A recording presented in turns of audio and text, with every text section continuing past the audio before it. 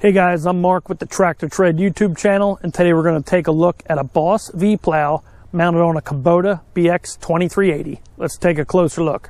So the tractor we are using for this video is a Kubota BX2380. It's a four-wheel drive diesel subcompact tractor.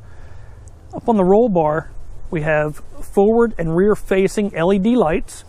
On the rear wheels, we have some rear weights, and the tires are filled with liquid. This tractor does have a three-point hitch and the customer will be using a weight box on the back of the tractor. On the front we have the custom mounted Boss V plow and that's the 5 foot 6 inch ATV slash UTV V-XT model plow. Now we'll take a look at the back side of the plow and all the reinforcements. Plow has side markers on each side and has a nice heavy duty cutting edge on the front. The outside of the plow is about 23 inches high.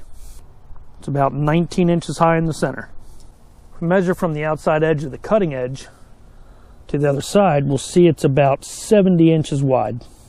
Standing behind the tractor with both blades backward, we can see that the blade sticks out past the tires on each side.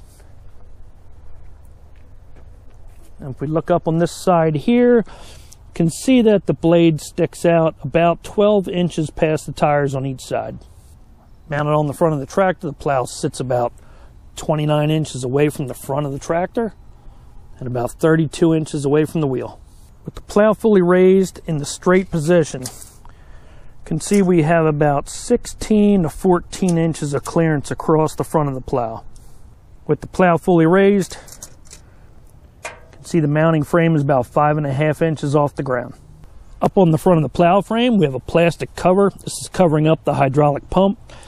And this unit is electric over hydraulic. The frame on this plow is originally meant to fit a Kubota RTV 400, but has been modified to fit our BX tractor. The plow can easily be detached from the frame of the tractor by pulling on this pin right here, pulling it back and locking it into that off position. Same with the other side and then the plow frame right here and all the way back to here will come off of the tractor. The only thing left on the frame of the tractor will be this custom mount right here, and that will stay on the tractor. So if you ordered the plow for the Kubota RTV 400, you'd get this mounting frame right here. This bracket here is also included in that frame. You will need to weld on these L brackets and this side bracket right here to fit your BX tractor. So if we look down the front of the tractor, See, there's four bolts mounting the plow frame to the tractor frame. You can also see there's heavy duty angle iron that's welded onto the plow frame for support. The heavy duty angle iron is also welded to our plow frame, but it's not welded to the tractor frame. Looking down the right front, we can also see how the mounting brackets are welded to the plow frame and how the plow frame is bolted to the tractor. On the right side of the tractor, you can see how they ran the electric bolted the plow frame to the frame of the tractor and wire tied fast as the heavy duty plug connector for our plow. An electronic hand control comes with the Boss V plow and it's been wire tied fast to the loader arm. The wire has been run across the tractor and down underneath the fender. Up on top of the hand control there's an on off switch. With it on all the functions will work. If it's switched to off and the tractor's running you can press the buttons and nothing will happen. The hand control has five buttons. Top left moves the left blade forward. Bottom left moves the left blade backward. Top right moves the right blade forward. The bottom right moves the right blade backward. The arrow up will raise the plow. The arrow down will lower the plow. If you push down, it will not put pressure on the blade down. Basically, we'll be in the float position. Now we'll go ahead and start the tractor up.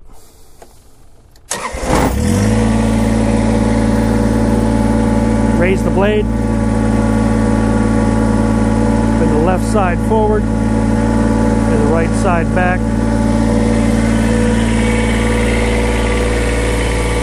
See what that looks like from the front.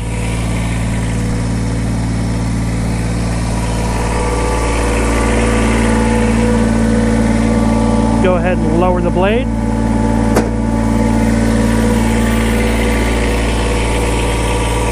Cutting edge lays nice and flat on the macadam.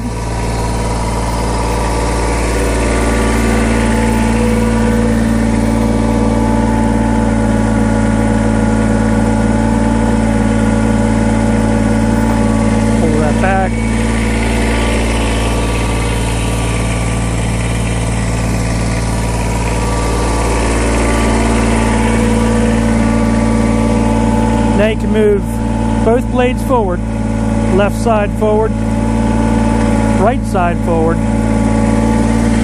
and you can scoop the snow and move it on top of a pile if you want.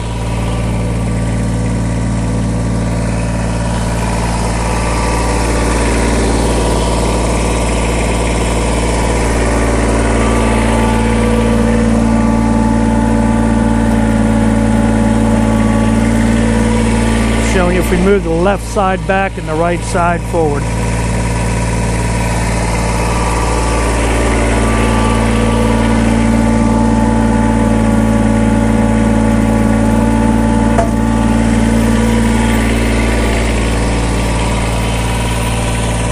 You move them both forward, you can see that the scoop also lays flat on the ground.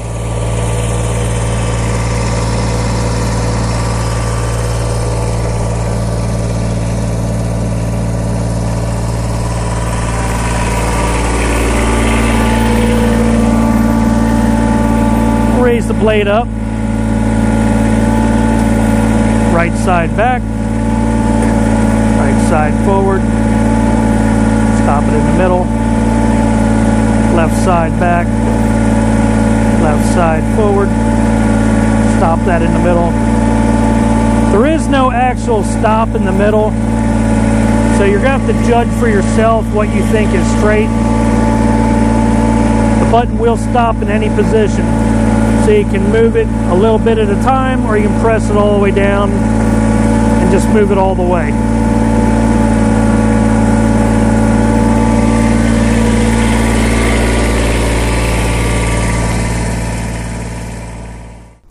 Said something a little different for you guys. A Boss V plow mounted on the front of a Kubota BX 2380. If you have any comments, please leave them in the comment section below. I'll leave some information about the dealer in the description box so you can check them out. If you wish to purchase one of these V plows or maybe have a question about the mounting of the plow, they'll be glad to help you out. Please check out my Facebook group. It's Tractor Tread Used Tractors for Sale. You can post used equipment on there if you like. I'm Mark with the Track Tractor Tread YouTube channel. See you on the next one.